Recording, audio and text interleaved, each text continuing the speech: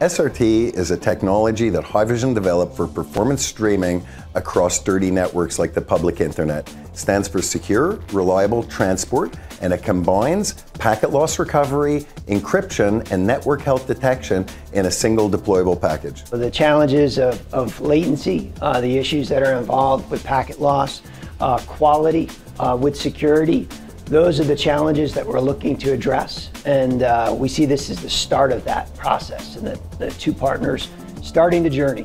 The ultimate goal of the SRT Alliance is really to foster partnerships, to foster a de facto standard within the industry to solve the high performance streaming requirements that everybody's after today.